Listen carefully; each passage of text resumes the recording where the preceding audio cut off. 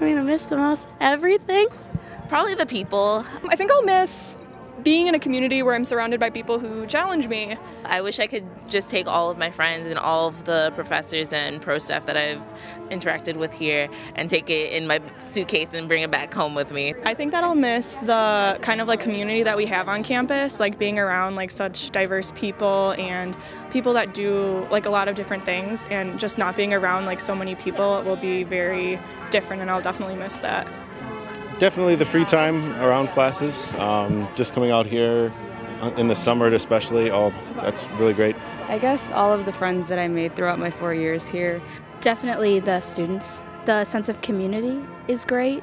Uh, they became my family, and so I'm going to miss them a lot um, wherever they end up going for school or for jobs. Um, I think that's what I'll miss the most this the campus, the, the greater community of Madison. You know, got Willy Street, State Street, the Terrace. It's all these beautiful scenery that you can just really get lost in. Food on right by the State Street. That's easy access. Definitely all the all of my friends who are leaving, uh, and all the relationships that I have built. Just how pretty campus is. Like at this time of year, when like the terrace is open, and then you can go down by the water.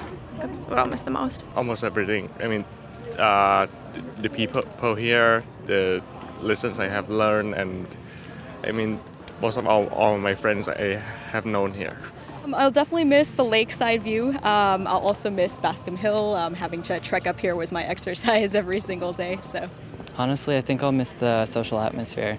I love being able to just walk two blocks to a friend's house instead of taking two buses. Uh, probably the good old Badger Sports and the Terrace. Those are always, I guess, two of the main points of, uh, and I guess kind of like the school pride as well, with uh, that goes associated with the um, Badger game days.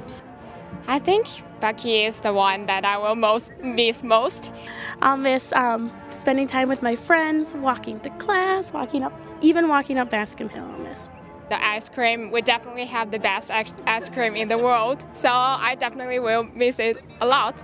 I think I'm gonna miss the just the atmosphere of learning and just being able to just go anywhere and talk with anyone and just learn new ideas and just grow and expand my mind. Everything about the campus is actually very, you know, mesmerizing. or it's beautiful, especially during the winter. I feel it's probably the youth. Um, as long as you go to school, you feel young. So um, I think I'm gonna probably continue to go to school so I can feel young. All the things there is to do. You can walk outside. If you're alone in your apartment, you can walk outside and find something to do. You're never bored. Probably just the happiness of everyone around you.